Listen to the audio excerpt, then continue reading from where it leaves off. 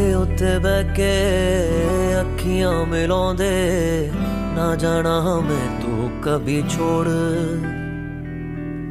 ਤੇਰੇ ਉੱਤੇ ਮਰਦਾ, ਪਿਆਰ ਤੈਨੂੰ ਕਰਦਾ, ਮਿਲੇਗਾ ਤੁਝੇ ਨਾ ਕੋਈ ਔਰ।